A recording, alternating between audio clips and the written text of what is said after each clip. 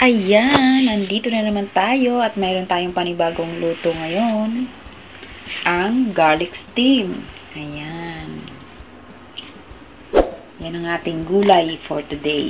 Meron tayong garlic and ginger. Gagamitan natin ng XO sauce at saka oyster sauce.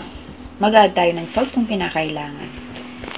So, ayan ang ating ingredients. So, ito guys, usually, minsan ginaganyan ko siya, no. Ayan. Tinatanggal ko lang yung dulo niya. Kasi minsan,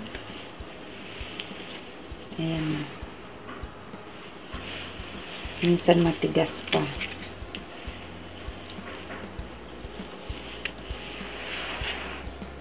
Tapos, hihiwain natin yan.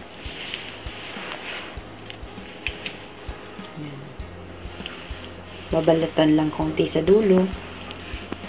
So, ayan, tara, umpisahan natin ating pagluluto.